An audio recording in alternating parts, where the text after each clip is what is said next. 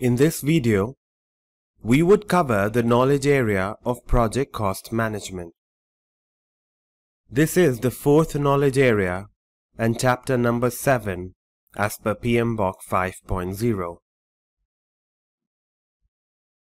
In this video, we would learn the concept of project cost management and then we would go through the processes related to cost management one by one.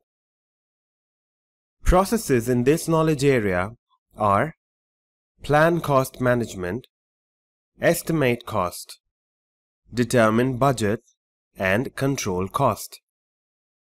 Further, we would discuss the concept of earned value management technique in detail. As usual, we would spend some time on this table to understand the processes in project cost management. We would also consider the relationship of the processes in cost management with the other processes in other knowledge area. Let's do a quick recap of what we have discussed so far. Before understanding the processes related to cost management, we have learned that we initiate a project with a contract or agreement, along with which we get the project SOW. The first document that we create is a project charter. This is created by the sponsor or the customer, and this document formally recognizes the existence of the project. Within the initiation process group, the only other process we have is Identify Stakeholders, which we would discuss as part of Project Stakeholders Management Knowledge Area.